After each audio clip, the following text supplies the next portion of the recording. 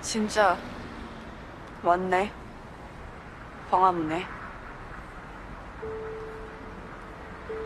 단추 많은 옷 입었고 이상하게 자네 날 아는 눈빛이군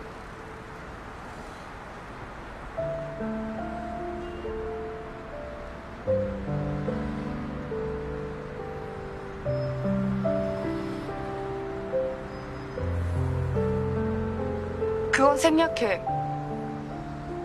지금 이러지 않으면 후회할 것 같아서.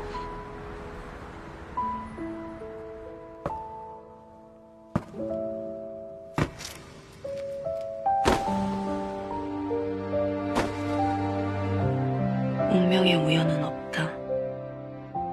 언젠간 반드시 찾아오지만 그 뜻을 알아차리고 난 후엔 언제나 너무 늦다.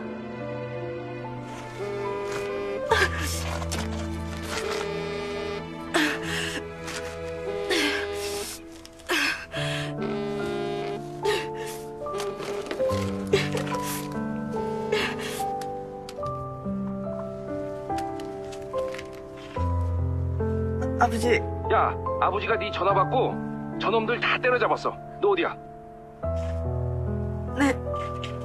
전화를 받았다고? 야, 너 목소리 왜 그러냐? 어? 어, 야야야야, 지금 경찰 와가지고 아버지 부른다. 다시 전화할게.